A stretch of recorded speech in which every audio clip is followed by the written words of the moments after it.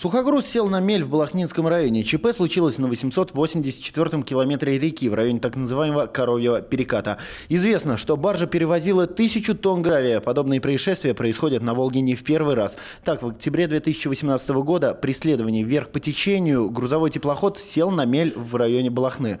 На борту было почти 4000 тонн гипса. 15 мая текущего года сухогруз Омский 143 сел на мель в Волге около острова Казачий. Это под Саратовом. Тогда вину возложили на судоводителя, который ошибся при маневрировании. И это только самые яркие эпизоды. Подобные происшествия происходят из-за обмеления Волги. Для повышения уровня воды в период навигации правительство России предлагает построить низконапорную плотину на границе Сормского района и Блохны за 43,5 миллиарда рублей. Однако проект блокирует администрация Блохны. В результате открытия гидроузла, которое планировалось на 2020 год, может задержаться как минимум на 5 лет а значит проблемы у судовладельцев будут множиться.